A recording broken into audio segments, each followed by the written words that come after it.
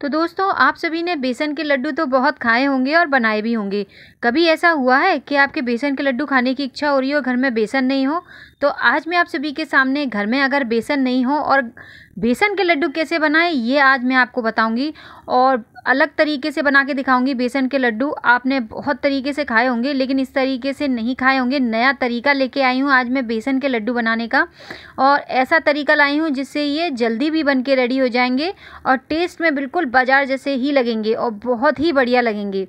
तो चलिए, बना लेते हैं। उससे पहले अगर आप सभी ने मेरा चैनल सब्सक्राइब नहीं किया हो तो सब्सक्राइब कर लें और बेल आइकन बटन क्लिक करना ना भूलिएगा। तो जैसे कि घर में अगर आपके बेसन नहीं हो तो ये हैं चने की दाल। चने की दाल दोस्तों बाज़ार में आसानी से मिल जाती है, घर में भी रहती है सभी के। तो ये चने की दाल ले लिए है मैंने एक कटोरी। अब हमें क्या करना है, इसको हम ग्राइंडर में डाल के चने की दाल को ग्राइंड करेंगे।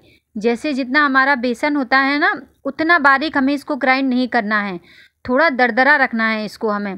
तो ये देखिए, ये हमने ग्राइंड कर लिया है अपना बेसन। अब इसमें मैंने कढ़ाई रख ली है। कढ़ाई में हम डालेंगे घी। तो यहाँ पे मैंने अभी घी डाल दिया है। घी डालने के बाद अब इसमें मैं बेसन डालूँगी। अपने जो चने की दाल डाल के मैंने इसको पीसा हुआ था और इसको बढ़िया तरीके से भून लेंगे। तो मैं आपको दोबारा बता दूँ, हमें इसको बिल्कुल फाइन ग्राइंड नहीं करना है। बेसन को थोड़ा दरदरा रखना है। इससे क्या होगा, पहली टिप है, बेसन के लड्डू में दरदरापन रहेगा ना तो बहुत ही टेस्टी लगेंगे। अब इसमें मैंने आधी कटोरी डाल दी है सूजी। सूजी ज़रूर डालिएगा। इससे हमारे बेसन के लड्डू बहुत ही बढ़िया लगते हैं और इनको दोनों को अच्छी तरीके से हम चलाते रहेंगे। तो यहाँ पे हमें ये बात याद रखनी है, हमें इसकी फ्लेम मीडियम टू लो रखनी है, जिससे ये अच्छी तरीके से भुनेगा और इसको हम चलाते रहेंगे। तो चलाते चलाते देखिए, ये बढ़िया सा लाल हो चुका है, आपको भी दिख रहा होगा। बिल्कुल बढ़िया सी खुशबू आने लगी है और ये देखिए, हमारे बेसन में ददरापन भी आपको दिख रहा होगा, क्यों मैंने इसको बेसन बिल्कुल फ़ाइन बेसन नहीं लिया था, मैंने इसको ददरा रखा था।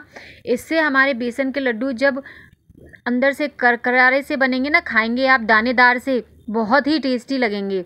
तो ये देखिए, आपको दिख रहा होगा, ये दानेदार से हमारे बेसन के लड्डू का ये जो बेसन हमने भुना है, बहुत ही बढ़िया तरीके से बुन के रेडी हो गया है। मेरी किचन में बहुत ही बढ़िया सी खुशबू आ रही है।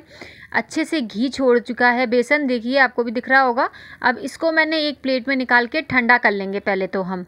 जब ये अच्छी तरीके से ठंडा हो जाएगा, उसके बाद हम बेसन के लड्डू बनाएँगे। तो यहाँ पे मैंने इसको अच्छी तरीके से ठंडा कर लिया है। अब इसमें मैं डाल रही हूँ शक्कर।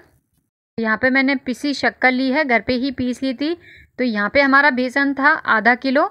आधा किलो में हमें 250 ग्राम शक्कर आराम से लग जाएगी और इसको दोनों को अच्छी तरीके से हम मिक्स कर लेंगे। तो ये जब बेसन अच्छे से ठंडा हो जाए ना, तभी इस प्रोसेस को करें आप।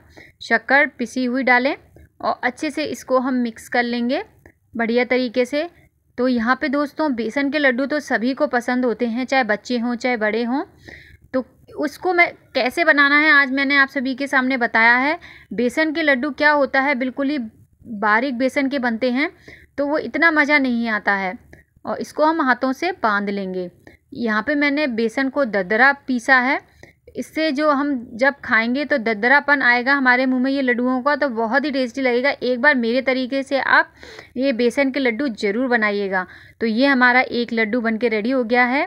तो ये देखिए, ये दूसरा लड्डू भी बन के रेडी हो गया है। तो बाकी के भी हम इसी तरीके से बना के रेडी कर लेते हैं अपने बेसन के सारे लड्डू। तो ये देखिए, हमारे सारे बेसन के लड्डू बन के रेडी हो गए हैं। बहुत ही बढ़िया बने हैं दोस्तों और बहुत ही झटपट बन के रेडी हुए हैं। आप भी अपने घर पे ऐसे ही ट्राई ज़रूर कीजिएगा। ये देखिए, हमारा लड्डू कितना बढ़िया बन के रेडी हुआ है। तो यहाँ पे मैंने बेसन थोड़ा दरदरा पीस के बनाया है। आज बेसन के लड्डू तो आप भी ऐसे ही ट्राई कीजिएगा। बहुत ही टेस्टी लगते हैं और आप इनको एक कंटेनर में भर के स्टोर करके भी रख सकते हैं।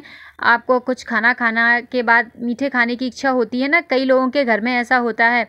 तो आप इसको ऐसे स्टोर करके रख सकते हैं। तो धन्यवाद दोस्तों, फिर मिलती हूँ नेक्स्ट वीडियो में। Bye bye